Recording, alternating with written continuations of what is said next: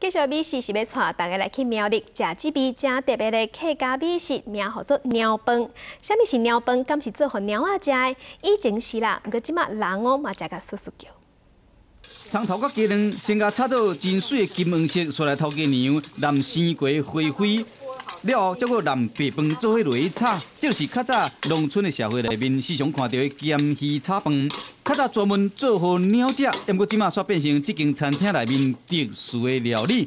有一个真趣味的名叫做客家鸟饭。这名字好像有点奇怪，好像动物吃的，你会不会忌讳啊？不会啊，那么好吃的东西怎么会忌讳呢？虽然讲这个名听起来有淡薄仔怪怪，不过来这食美食的民众拢总不要紧，而且食了真欢喜。既然是将鸟食的物件改良好人伫食，当然食材都要真讲究。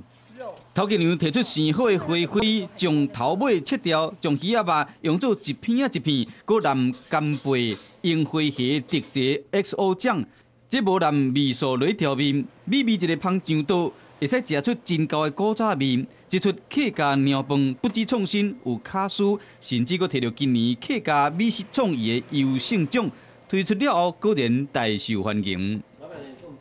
一个继续这味要来去平湖食臭豆，虽然叫臭豆，毋过一点仔拢袂臭，现嗲现食，真甜真鲜嘛，真好食。会当拍打用烘的，买当用煎的，食完了后哦，是正人学咯。这渔船啊出海，即嘛是平湖臭刀仔的产季，网啊一个好起来，一尾一尾臭刀仔，绿中带黄，色水真水，总共有两百外尾，真的是大丰收。船到未前靠岸，岸边的总破西已经等袂赴啊，用机车载入就走，因为新鲜的气味未使钱。现在的臭刀仔当然都要赶紧。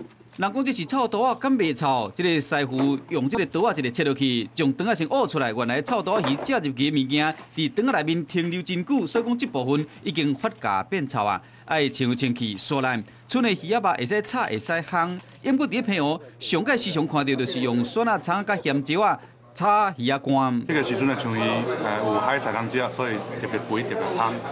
鼻看卖只有香味无臭味，鱼仔肉真新鲜，特殊的香气嘛，变成是海鲜界的臭豆腐。除了鱼仔肉，将鱼仔皮甲挂起来，吹打，变成臭豆仔鱼干。这种鱼仔有真一种的食法，可以使食到真高的平和气味。